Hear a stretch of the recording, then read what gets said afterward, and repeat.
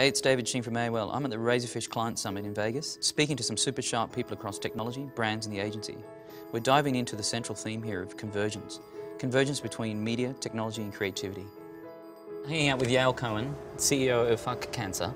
Um, thanks for spending some time with me. We're at the Razorfish Client Summit. What they're talking about here particularly is convergence.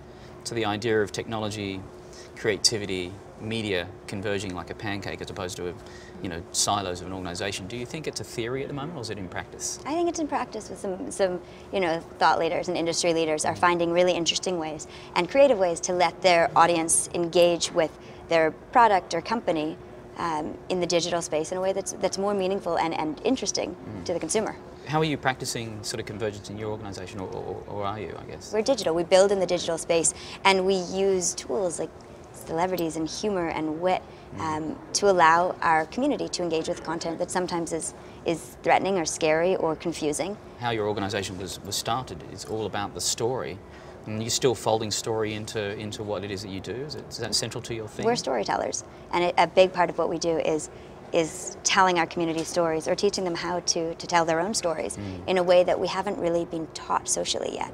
You know, the cancer space and the cancer experience is pretty heavily censored and prescribed. Yeah. And so when we start having a more authentic dialogue and, and storyline around the experience, people can can process it in a different way. How have you brought in humour to that to that to that subject? Because that's part of what you do as well, isn't it? Yeah, humor's been a fundamental um, you know, core value of the organization. I think letting people have an authentic experience, whatever that may be, was really important. And you know, humor not only lets people really feel how they're going to feel, and there's parts of cancer that are really funny, and there's parts that are so uncomfortable or weird or awkward that all you can do is laugh.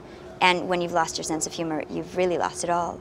But yeah. it also, you know, from an early detection or prevention side has allowed us to let people joke about content they might not talk about.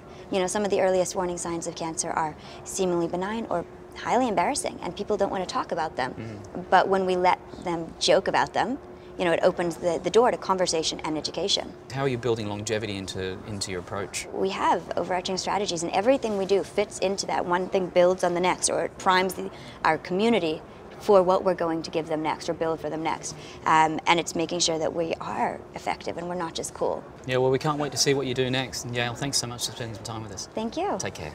See you.